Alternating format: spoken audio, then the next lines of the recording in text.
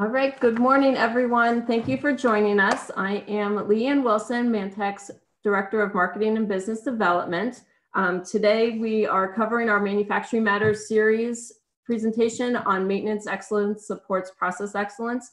The whole series in general is meant to give you the insights needed into different areas that Mantek has services in, including sales and marketing, um, process improvement, which is today's, manufacturing technology, and workforce engagement. Um, today we have Larry Bouvier from Fuss and O'Neill. um, he's going to explain his, his um, bio when he starts here. We do have the Q&A for in the chat area, and we are recording today's session. So with that, I will turn it over to Larry. Well, good morning. It's good to uh, to talk with all of you here today and to see you. Um, again, I'm Larry Bouvier from Fuss & O'Neill Manufacturing Solutions. Um, we're a little consulting house out of uh, New England, and uh, we work with uh, manufacturers to help uh, achieve excellence in productivity, uh, notably safety, quality, delivery, and cost. And a little bit on my background, I came out of the um, the uh, metal casting and steel, mostly metal casting and steel industries, about 10 years ago, where I had a variety of roles in, in maintenance and engineering. And in the last uh, nine years, 10 years, I've been with Fuss & O'Neill and working with many clients uh, across the country to try and help them to remove equipment as an obstacle to productivity. So a little bit of a background. We, we talk about things that prevent process excellence. And uh, there's a number of things that happen out there that, that kind of knock us off of our, uh, our cadence. Um, one being injuries and hazards. Uh, scrap and rework, of course, is another one. And uh, the amount of costs incurred due to inefficiencies that take resources away from improvement programs and processes.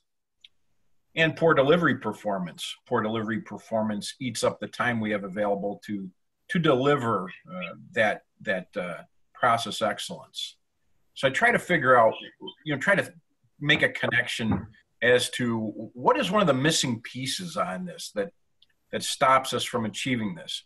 Um, now, this kind of goes back into my own experience where I've worked with uh, a lot of companies who had some sort of a continuous improvement initiative.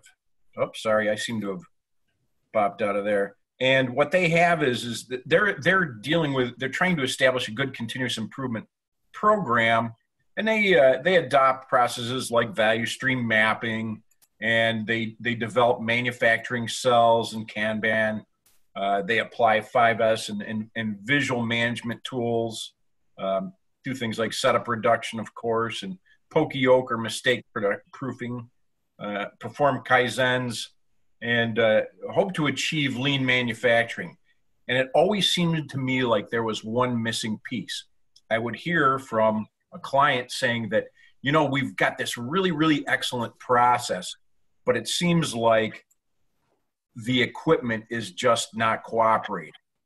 Therefore, uh, it made me ask, um, what would be the effect of a consistent, uh, consistently operating, well operating uh, suite of production equipment?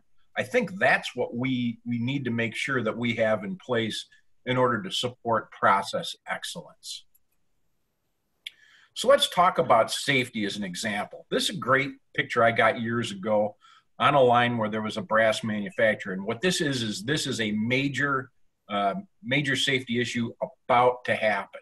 Okay, so um, I'm just thinking of what would happen if this transformer uh, exploded. Um, I have breakdowns that are unexpected, causing non-standard conditions. Uh, non-standard conditions, therefore, uh, cause a, a deviation from um, being able to run at a normal a normal procedure. Operator doesn't know how to respond. The process is thus disrupted. Not to mention, all of our attention is now focused on uh, where am I going to get hurt next? How do I deal with this injury? How do I keep this from happening again? So, could there have been some sort of a maintenance effect, maintenance process that could have dealt with this? Well, of course. Another good uh, disruptor I would say is quality. So where does where does maintenance excellence tie into this?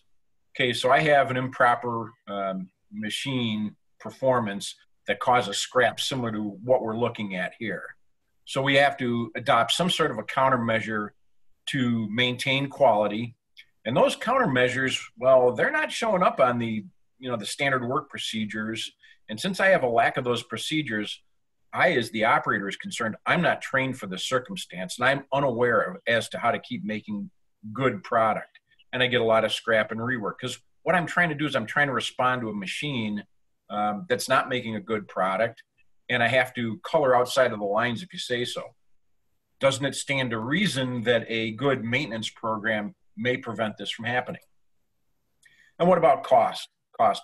We think about things like um, where these excessive costs come from? Uh, well, if we have to do a lot of repairs on a piece of equipment, it's going to consume a budget. It's going to drive up our operating costs. And some of the things that are going to happen will be uh, items like uh, excessive overtime to perform this repair, unscheduled downtime, unscheduled staffing over the weekend. So I've got less money. I've got less of my body of resources um, to develop to devote in order to improve the process. And instead, what I'm spending my money on is to just restore the process back to where it should be. Uh, some of the other effects, we've already spent the money, so we can't do an upgrade. Um, we can't do good equipment care, et cetera, et cetera. And it just spirals out of control. So, one of the things that we ask people to consider uh, in terms of process excellence is, is what does a minute of downtime cost? And you know what what is that impact? Think about delivery too. Delivery we we have a, an unscheduled failure of a piece of equipment. So now i have a longer lead time to produce hours. I have more overtime incurred to meet the demand. I have less time available to perform good maintenance like preventative and predictive maintenance. And since i can't do that and we're devoting all our time to getting the order out the door now the equipment performance continues to decline causing more situations that we have to react to. So really, when I think about it, I look at maintenance, uh, you know, maintenance excellence supporting process excellence, and that it it helps uh, prevent erosion in the areas of safety, quality, deliver, and delivery, and cost.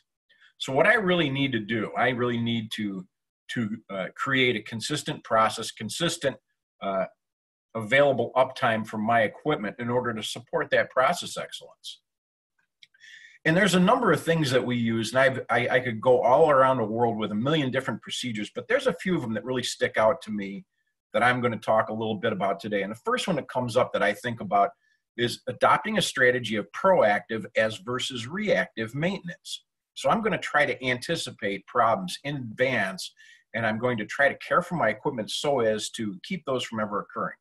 What am i talking about let's figure out what the failures are that could be happening that are naturally going to happen uh, in our environment in our circumstance in our equipment. And let's come up with a countermeasure for that that we can apply even before they exist. And then what we're going to do is we're going to use standard procedures uh, in order to make sure that that care is consistently executed so we get away from breakdowns okay so in in our typical environment suppose i'm i'm joe maintenance person and i have a lot of failures on a motor and i'm continually replacing it. One one uh, process of proactive maintenance i might use is predictive maintenance. That's the only thing i hate about maintenance. There's so many darn p's in here.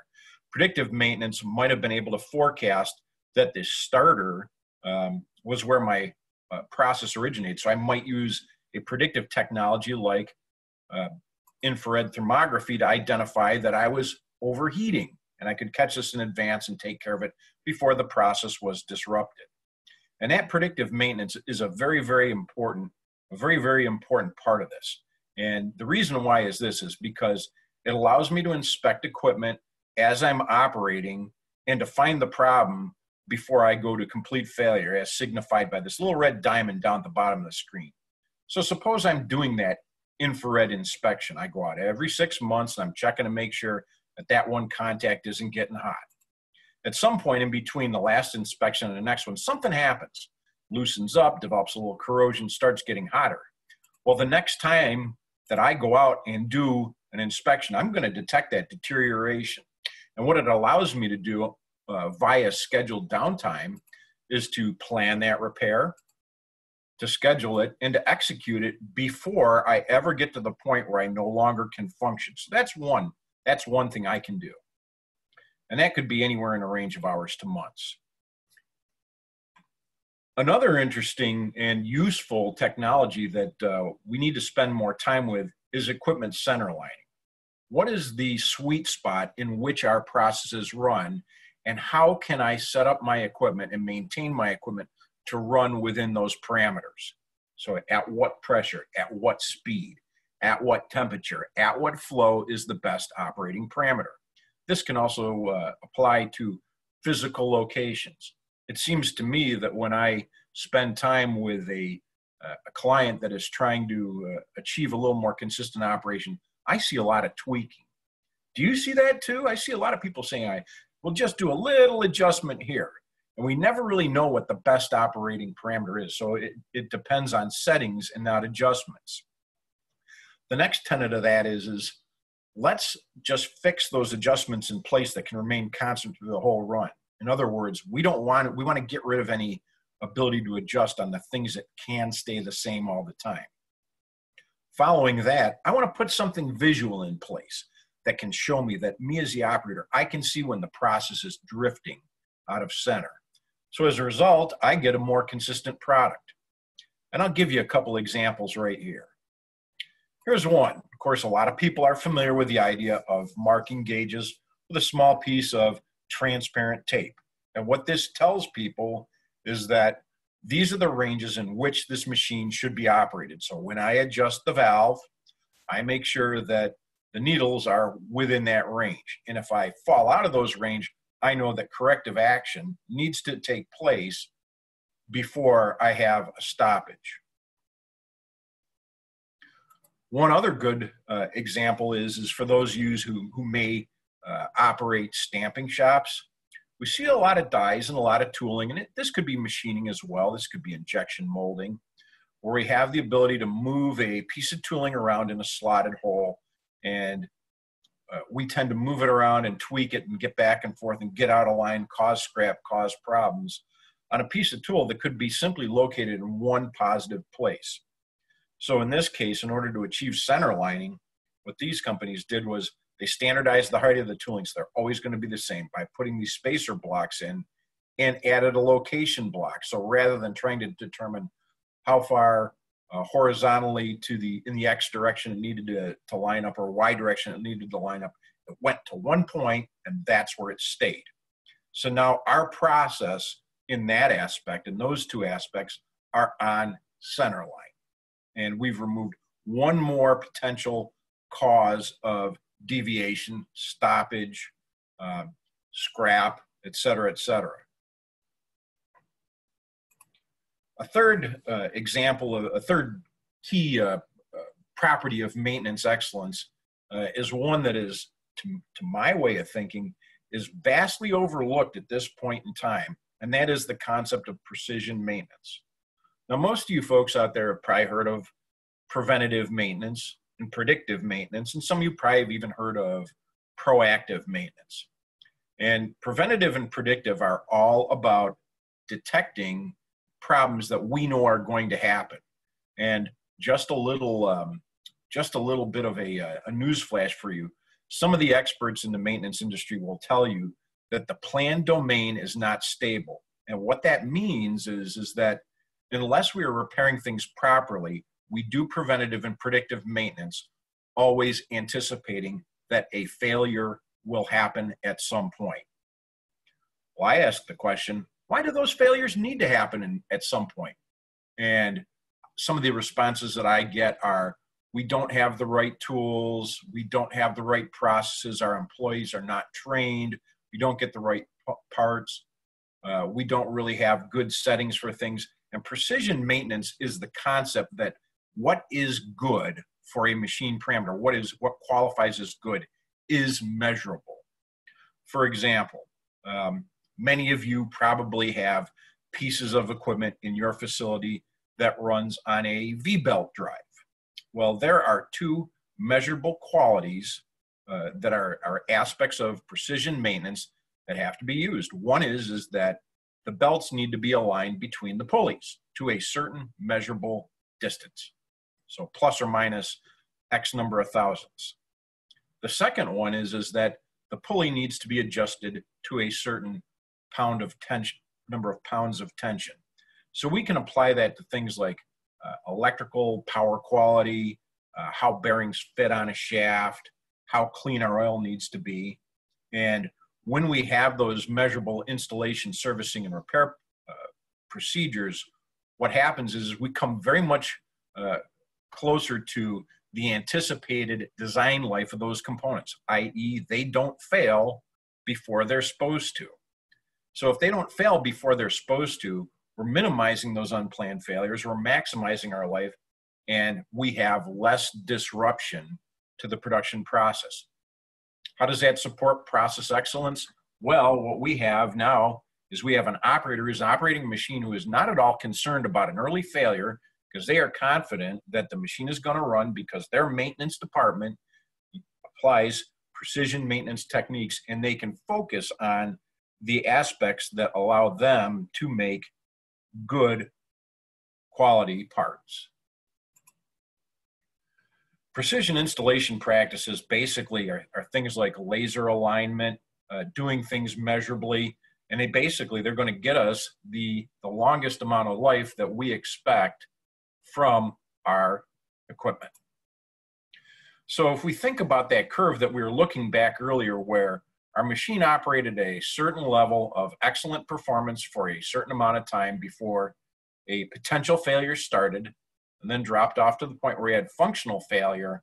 What precision maintenance does is it extends the length of this straight part of the curve and allows us to get greater life or to get maximum life before we have uh, reached the end of our useful life and have the performance begin to deteriorate. So we detect that fault at this point and we say maybe we need to do some things like we need to adjust the tension on that belt or else it's going to fail or realign that shaft coupling.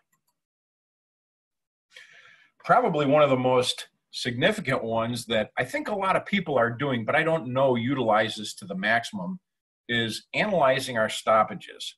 Now, there's a lot of names for this. I hear people talk about uptime analysis or failure reporting and corrective action systems. We're going to go with OEE or overall equipment effectiveness, and we use we use that data that we get from OEE to analyze where our problems are and to methodically eliminate those problems. Uh, OEE, uh, just so for those of you who may not have heard of it, is is what do I plan to make when I plan to make it?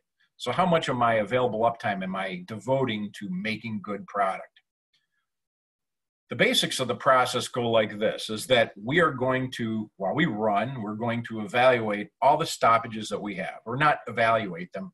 We're going to record them. We're going to classify them were we down for setup? Were we down because we were starting up and there was some product loss based on the the first couple of pieces that come out are never right? Did we have to stop to clean the machine? Did we have a breakdown? Um, did we have to stop to measure or, or to get more supplies so what we do is we take a look at those failures over a period of time and we identify where the big hitters are coming from. That's just not all. At this point, we need to engage our team to see what we can do to establish countermeasures or cures for those failures to eliminate the, the unplanned stoppages that are coming up. And I'll give you a, a small example right here. This is one that we talk about that we did with a lot of our clients years with one of our clients years ago. It was a small machine, and what it did was it processed a brass rod, it cut it, and it uh, did a stamping and machining and forming operation to both ends. And what happened was is the client was interested in understanding why they could not achieve the production rate, you know, good product, uh, correct rate over time. So our team that was evaluating this operation decided to go and to watch what was happening. And as we approached the machine, we found that the team that was running it was just coming off of a setup at the time. and they were beginning to run um, production runs. They're just trialing out their first few parts. And as they'd run one through um, for that first minute, they were stopping to adjust because the collar end of the rod was too small, so they had to adjust the tooling. Well, they ran a few of them. The next thing they know, they're out of rods, and somebody had to run across the shop and get it from the previous process, uh, take, taking down 15 minutes. They started running them through and they adjusted the feed clamps.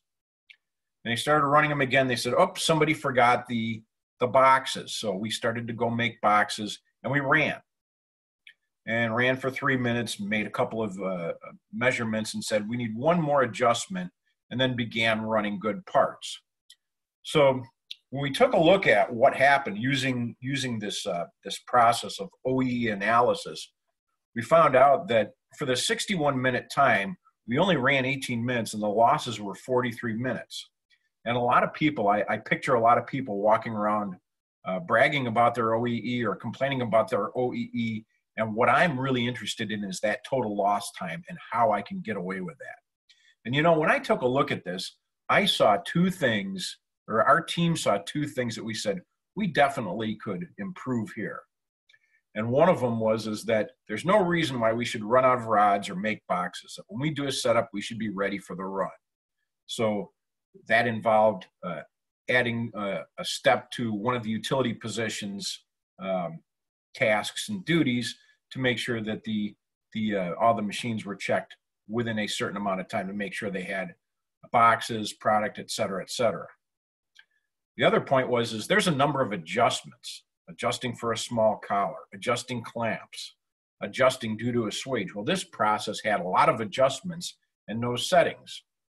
So what happened was is this team said we're going to do two things. We we established those two processes, and they just got rid of when they just got rid of the first one, which was waiting for the you know the rods and the producing the good parts. I go from you know a 29% OEE to an 83% OEE. Now make no mistake, take collecting the data is good, but but the real process that makes it work behind there is having some sort of team, some sort of ongoing process to review our stoppages. So many people uh, who are devoted to process excellence get a ream of data and then don't really have a good idea what to do with it.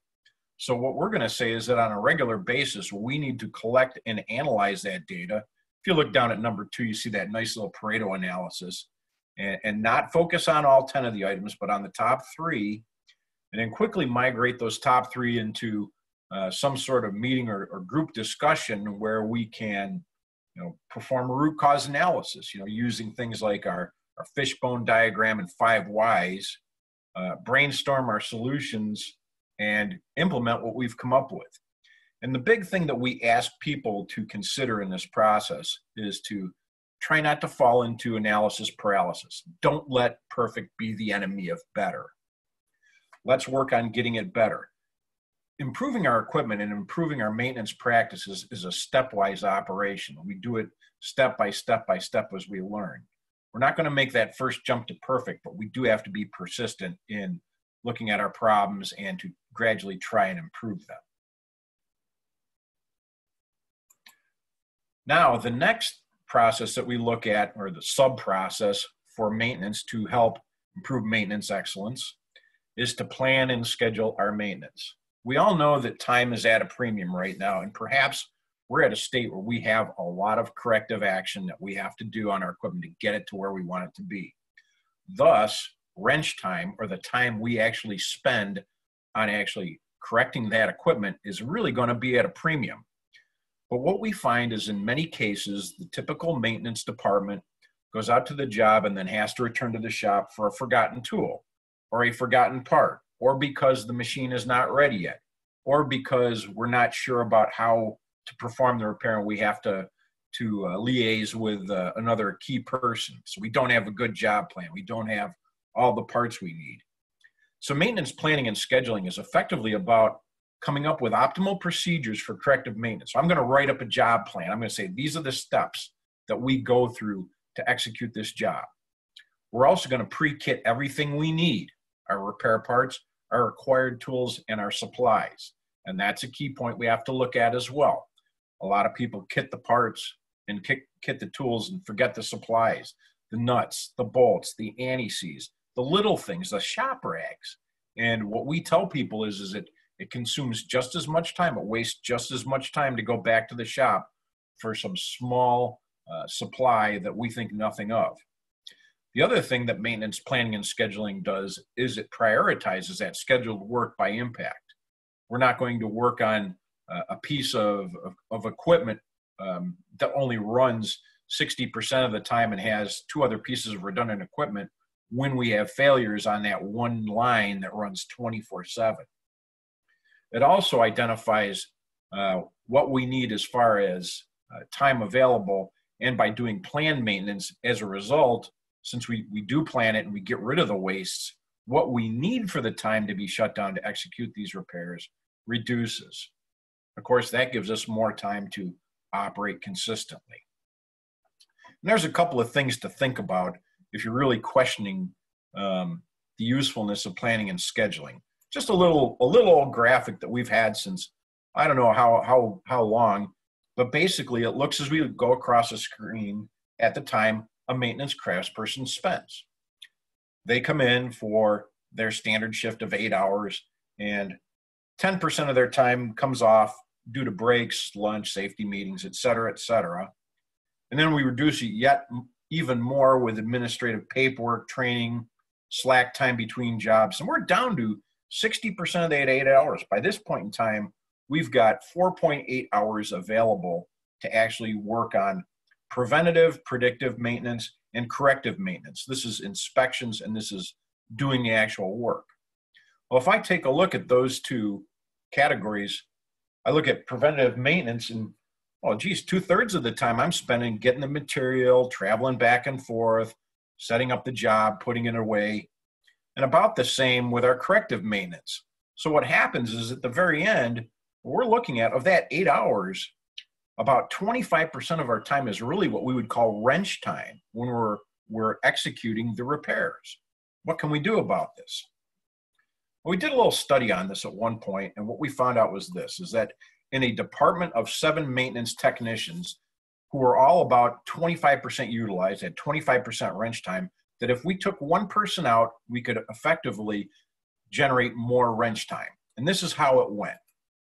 Since we had, you know, seven techs at 25% utilization, we are getting two hours per day out of each of those techs of actual wrench time. So 14 hours of actual work completed during that time. So we pull one out and we're going to make one a planner. We're going to pull one out and everyone screams and says, Oh my gosh, we're so be- far behind now. How can you take away one of our people? Well, what happened was is we we're going to increase the labor utilization by better planning and scheduling. And in the first three months, all that planner did was making sure that that their people had the parts and the tools, and they jumped their utilization from 25 to 50 percent. I've tried it before myself at two other facilities, and it works. And usually, I would say that's a pretty conservative number. So now we've got six people that are 50% utilized. We're getting four hours per day out of each, six techs. Now I've got 24 hours of wrench time you know i'm getting as versus the old way which was 14 per day so i just i saved right there i saved 10 hours a day by taking one tech out of the out of the, uh, the out of the process to become a planner. So that's another way we're going to improve our process excellence. What we're going to do is we're going to improve our wrench time so we can get more good corrective repair done faster. I suppose all of you, when you're thinking about process excellence, you're saying, why hasn't he mentioned total productive maintenance yet, or autonomous maintenance, as many people know it?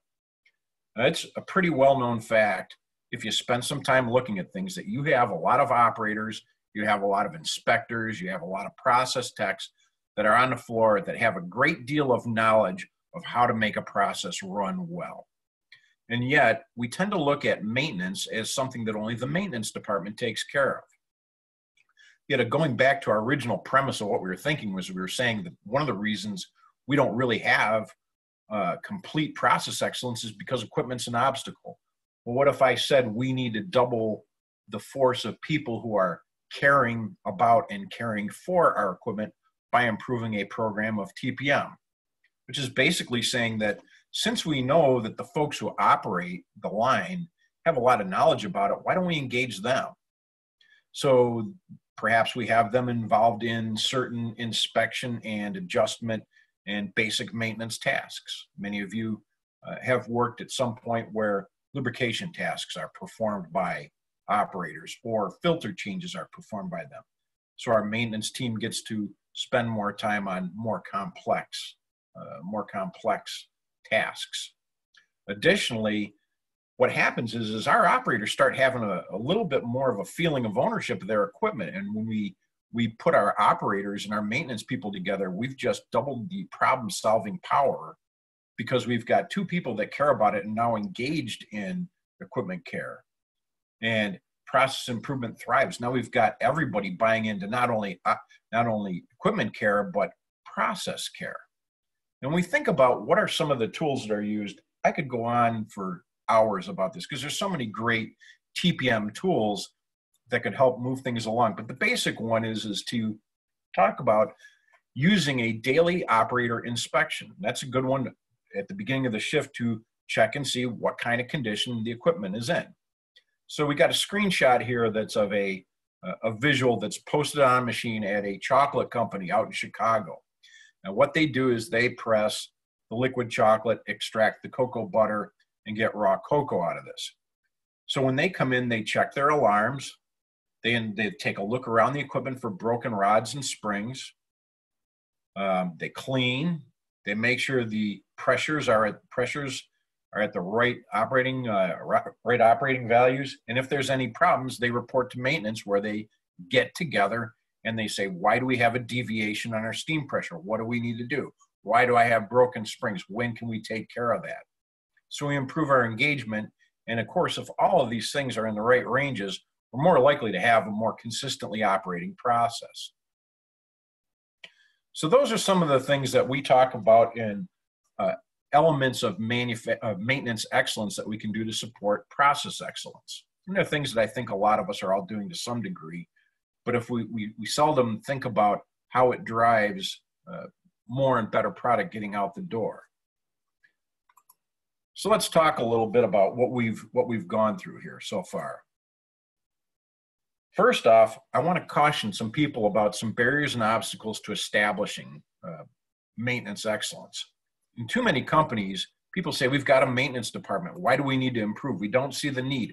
We've been repairing this equipment for years and years and years. The one I get the biggest kick out of is, is people say we don't have the resources to improve.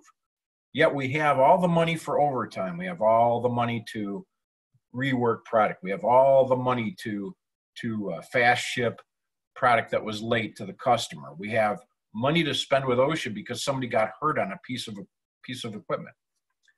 The one I think that we can address easier than anything else is the folks that say they don't know how.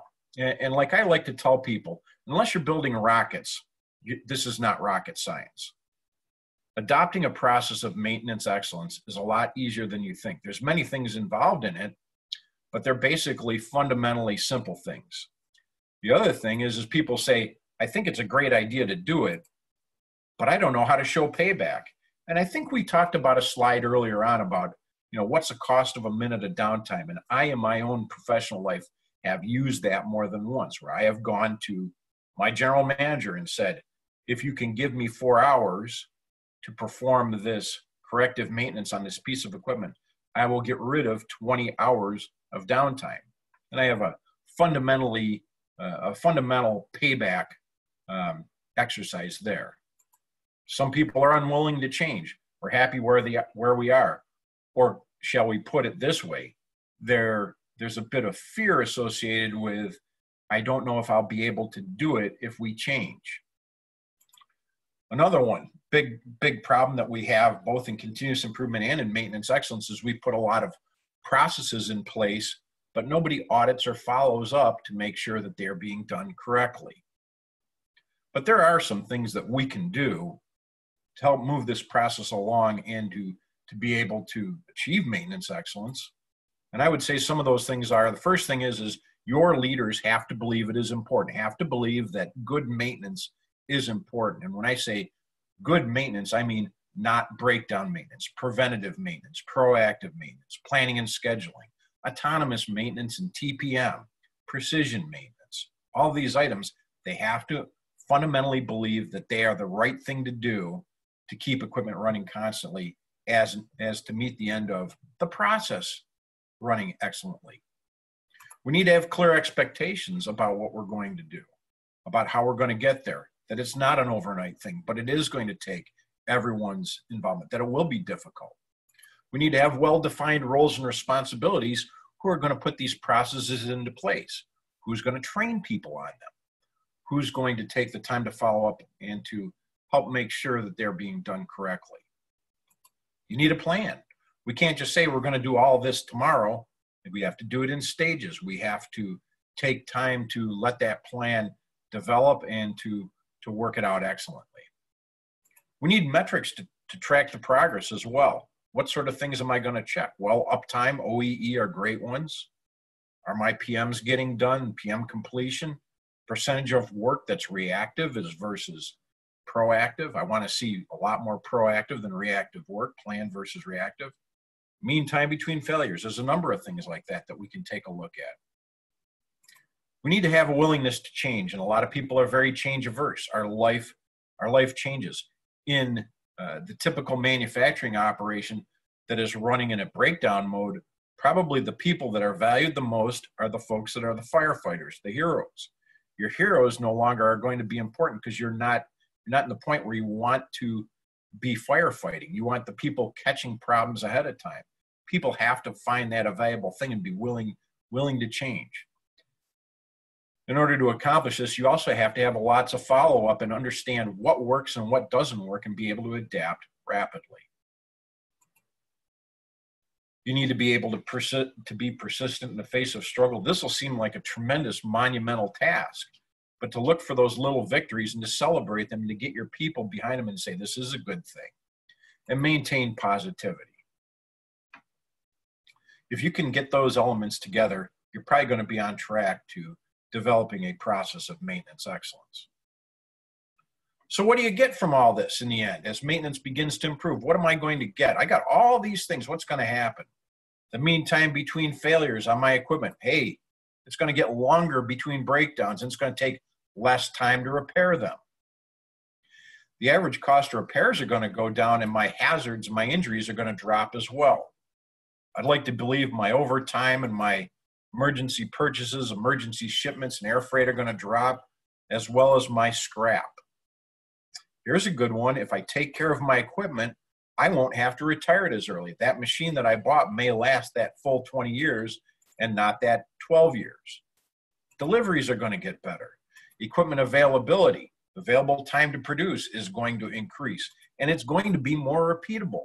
The quality coming out is going to be much, much more consistent. And what all that's going to do is going to give us a greater amount of opportunities for us to spend on improving the process rather than simply bringing it back from the dead. So, what does it look like? What else does it look like? If I look at performance of my equipment, reliability, there's a good one. Under a standard breakdown maintenance program, this is what I'm going to get. I'm going to start out when I fire up that machine. I'm never going to make 100% of what I what I thought I was going to get. And gradually, my performance is going to deteriorate. I'm going to get way down, and somebody's going to say, You have to fix that machine now, and nothing more than a simple overhaul is going to be done and we're going to start dropping off again to the point where we get down around 20% and say we need it's time to get rid of that machine. On the other hand, if we decide that we're going to pursue a program of maintenance excellence, the curve is going to look like this. We're going to say that the, the day the, the, the machine performed the worst was the first day we got in the shop, and we're just going to improve it, and we're going to maintain a constant level of excellent, excellent performance until we begin to go into the wear out phase. What's the difference? Well, I'm sure everyone understands the visual cue of a large block of green.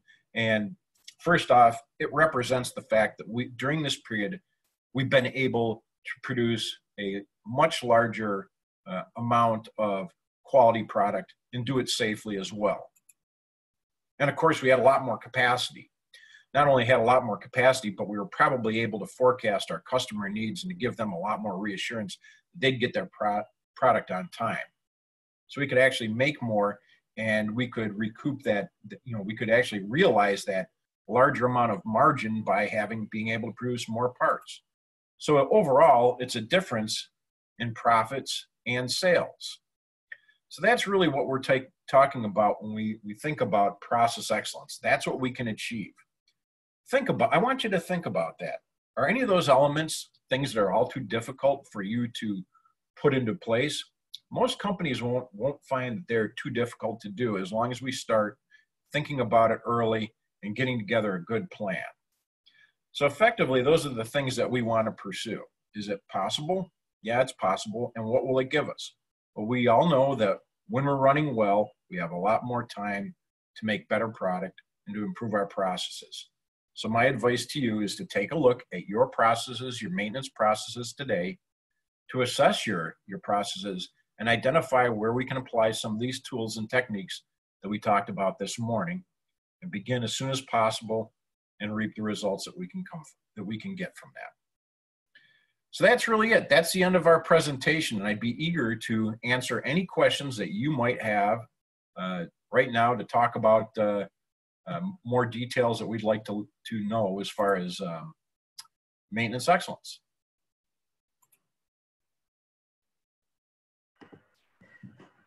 Um, if anyone has one, you can use the chat or feel free to unmute yourself um, to ask the questions. We don't have any at this current time.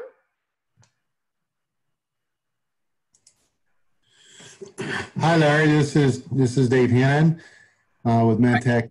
Um, I was I was interested to to learn a little bit more about you had talked about a uh, the cost of a minute of downtime, and I was wondering if you could go through that process to help develop the ROI for the customer as to the importance of of making the changes, um, the the the elements of of uh, calculating that cost of the minute and um, how you progress through the ROI. That would be that would be really excellent. Typically, what we do is this: we keep it a lot simpler than a lot of people understand because what we're trying to show is incremental improvement. And the way I did it uh, in some of my past lives was I would go to my controller and say, for fiscal year 2021, what is our sales plan? And they would give me a basic understanding of what I could get across the whole facility or on this line or that line or that line. And then I would say, what are our scheduled operating hours for next year? So what I could do is I could derive uh, amount of sales, assuming fully loaded for that line or that facility per hour. So now I have, this is what I generate per hour. Then I came back around to my uh, controller and said, well, what is our anticipated profit? they'd say, well, that's hard to hard to uh, draw a beat on. They would say, well, we, we anticipate making a 7% profit across all product lines. Now, it wasn't perfect and it wasn't uh, 100% accurate, but what it did was is we were able to take that back to our operating floor and to give those people those numbers. Say, you know, a, a minute of downtime is worth $220 and we lose you know, $14, $14 worth of profit for each one of those minutes there. And now all of a sudden they have something they can wrap their hands around. They understand what the money is. And they say, well, you know what? Well, if we're going to lose $220 worth of sales for every minute, then taking, you know, doing this repair that, that uh, will, will take us six hours uh, will, will result in losing that six hours times 220 times 60 but in the end will reduce this 12 hours of downtime that we had when we didn't do that repair. So basically, that is the, the very simple and, and, and um, rough cut justification that we, we used. Does that help you understand a little bit better the way we're, we're um, doing that justification? Absolutely. Thank you. And it's an easy one. What we get is we get a lot of people saying, well, we can't get it perfect. We can't get you exact numbers. Well, the concept is not to get exact numbers, but to get get your uh, your teams making informed decisions based on uh, profit and loss and, and looking and saying, if we invest this time for this care, does it get us back more time? Got you. Thank you. I think we have one connected to this. Can you speak to data management and analytical tools to help make better maintenance decisions? What stage do you recommend investing in software tools? Well, very early on uh, in software tools in maintenance. Now, pretty much today, I would expect that any um, any main any organization is going to have a computerized maintenance management system. The functionality of what's available today is tremendous. Um, pretty much any software that you're going to you're going to select is going to have uh, a, a, great deal of ability to um, analyze data in there. But you get out what you put in. Setup is important. I have seen many many companies purchase expensive computerized maintenance management systems that had the capability to analyze uh, decisions based on failure types failure equipment and simply did not put in good data into the system.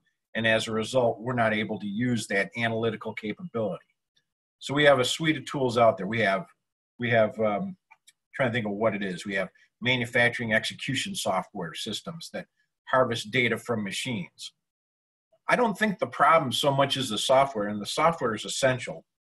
The real important thing is, is that we have the discipline to uh, classify and quantify the stoppage data as something other than other or miscellaneous, et cetera, et cetera. You get what you put in. I have a few on my personal chat here. If our maintenance people are so swamped responding to breakdowns now, how can we find the time to get started on becoming proactive? Here's the deal I'm going to be simple, and no one's going to like this. I know the general managers aren't going to like the answer. You got one of two things you got to do. You got to let some fires burn, or you got to add resources. That's the answer. There is no there is no way to bend physical reality and to get more more blood out of that stone. You know, I, like I tell a lot of people, it's a difficult road. Here's the thing, and and this is this is my my caveat for those folks that are, are really tearing their hair out on this. One is is that if you decide to let some fires burn, or if you decide to add more resources, before you do it, make sure you have a good plan. Make sure that if you're going to adopt one of those adopt one of those um, alternatives, that you have a good plan to maximize it. For example, if I'm going to bring in more people to solve a problem, don't just bring them in to do more firefighting. Let's talk about how we can allocate some people to really do good proactive maintenance first. Let's make one a planner. Or if we have to let some fires burn, let's make sure everyone understands what fires are not going to burn and what we're going to do, what we're going to do to bring them back from the dead rather than just keep them on on life support. We want to want to bring them back to full health. That's a great question, by the way. Everyone asks me that every time. I got a response to that right there. It's um, I just got done dealing with a situation like that.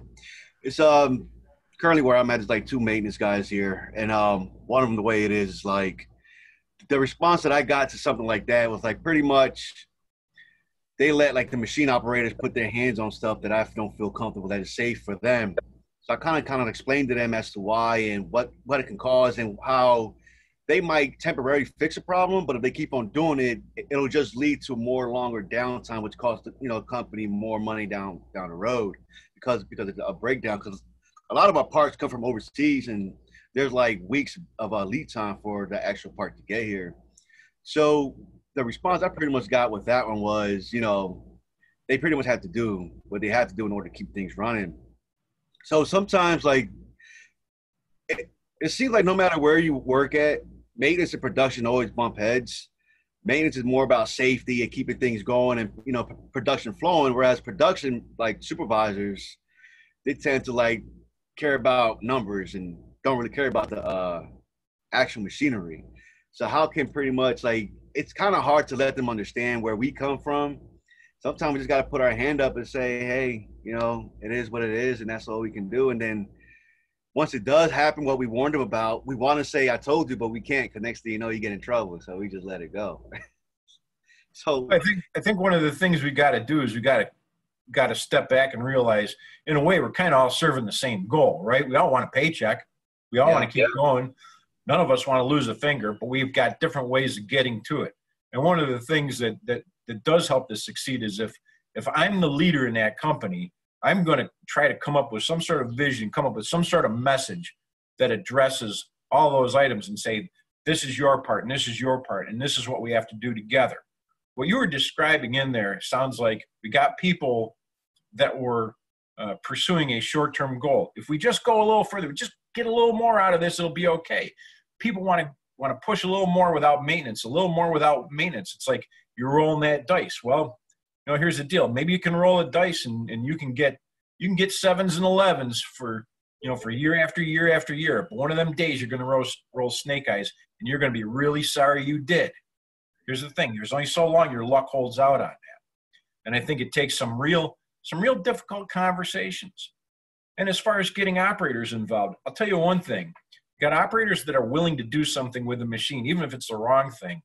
You know, feel good about that. You've got somebody who's engaged in the process in some way. In what ways can we train them to avoid the problems? Maybe we go out and we say to them, you know, all these little tweaks you're making, what do you think we got to do to keep us from having to do these tweaks that are going to make it worse and worse and worse? Or those guys that, you know, want to want to, uh, you know, whip the machine to get it a little further. Well, if they can work, if they can whip it to go further, they're also guys that can perform basic maintenance tasks as well. Yeah. So you've got you, you kind of got a you know a situation where there's some possibilities there. But remember that bit about leadership. It's got to start at the top, and that person, that that that guy at the top, that person at the top has got to got to say, look, we're not going for short-term gain. We're going for long-term gain. If the equipment stays consistent, our production will stay consistent. We all have to do things to to maintain that consistency. We have a few other questions. If we can only afford to take a machine offline for four hours a week, is it still possible to transform that cell one byte at a time, or do we need to take it down for a couple of days? Well, sometimes the answer is yes and yes, really. I guess I'd have to know a little bit more about the machine, but I've seen people do it incrementally with the four hour shots once a week or or two days, you know, once a week. I'd have to know more about it, but there's always something you can do. And that kind of talks to the aspect of maintenance planning and scheduling. I would ask that client, what is the worst failure that you're that you're experiencing on it? And if we figured out what the worst problem was, how long would it take to rectify that? Perhaps that first four hour slot might be simply performing an inspection to identify all the problems that we have, classifying things between items that could be done while we're running and items we have to do while we're down. Perhaps it will come to a point where we identify one failure that will take a full two days. But I don't think we can go in and say, figure out the time. I don't think you can go in and, and, and make a time requirement before you understand what the problems are and how much how they need to be addressed. So figure out what the problems are, rank them in in in priority, and then determine how much time they need. Um, what final one that I see on chat? Do you have ha, do you ever help companies to set up TPM programs, especially if maintenance techs are still learning? Absolutely, that's what we do a ton of time. I cannot. I, I've probably done in the last 10 years, probably done a couple hundred uh, TPM programs, focused events. And what we found is it doesn't just help the maintenance techs, but it helps operators. It ha- helps um, set up people, uh, quality people, uh, environmental health and safety people. Um, the big thing is that we get out of TPM is is uh, it's like it's like the phrase you hear: "Rising tide lift all bo- lifts all boats." It elevates our ability to maintenance equip to maintain equipment, but also elevates our ability to produce and make better parts, be safer, et cetera, et cetera. So yes, we do it a huge amount of TPM. And Mantec would be proud to connect you to um, assist you if that is a, a need that you have. I, would love. I, I'll tell you what. I love uh, love dealing with new clients and seeing new processes, new technologies. It's probably the single most rewarding thing for me is to work with a a company like we have with our, our friends at Mantec that we've we've done already, you know, at many places. Sure. Were there any other questions out there? All right. Well, thank you for your time. We do have um, more webinars being planned. Um, I know we have our maintenance friends here. You probably may not care about pricing in a crisis, but um, someone at your company may. So that's coming up July 9th. We will send a follow-up email that will include the um, recording of this so that you can look back at that. And we are also asking participants to help us out um, on a survey that we are conducting on how you've been affected through COVID-19. So we would appreciate your um, few minutes to fill that out as well. Um, but otherwise, thank you and have a great day. Thank you very Thank much. you.